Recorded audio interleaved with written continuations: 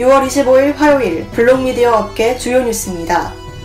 중소벤처기업부는 규제자유 특구기획단이 25일 세종 파이낸스 센터에서 현판식을 갖고 본격적인 활동에 들어갔다고 밝혔습니다. 이로써 규제자유 특구기획단은 지역 균형 발전과 혁신 성장, 일자리 창출 등 업무에 착수하게 됐습니다.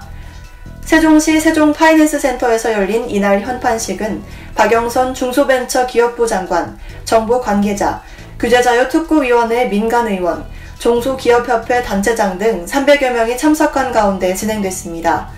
박영선 중기부 장관은 4차 산업혁명 시대를 선도하기 위한 규제 혁신은 더 이상 미룰 수 없다면서 규제자유 특구를 통해 기업과 지역이 중심이 되는 경제 구조를 구축하는 한편 중소 벤처 기업이 지역 경제의 중심이 될 수 있도록 정부도 아낌없는 지원을 약속한다고 밝혔습니다.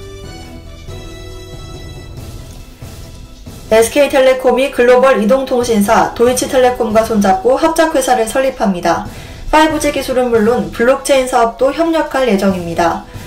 SK텔레콤은 24일 도이치텔레콤과 미팅을 갖고 연내 테크 합작회사를 설립하기로 합의했다고 25일 밝혔습니다. 우선적으로 5G와 관련한 핵심 기술을 개발한 뒤 블록체인, MEC mobile edge computing, 애플리케이션 마케팅의 분야에서도 협력할 계획입니다.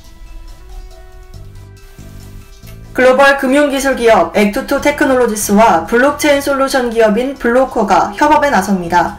액트투와 블로코는 양사 간 교류를 확대하고 블록체인 솔루션을 공동 개발하기 위해 양해각서를 체결했다고 25일 밝혔습니다.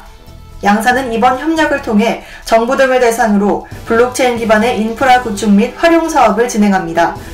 액트투는 암호화폐 거래소와 기업 간 거래 결제 플랫폼 등을 구축한 금융 기술을 제공하고 블로코는 금융권 및 공공기관에 블록체인 인프라를 공급한 노하우를 더할 예정입니다. 간편 암호화폐 지갑 서비스 비트베리가 블록체인 자동 투자 전문 서비스 헤이비트와 전략적 파트너십을 체결했다고 24일 밝혔습니다. 헤이비트는 비트코인 등 암호화폐를 대상으로 하는 자동 투자 서비스입니다.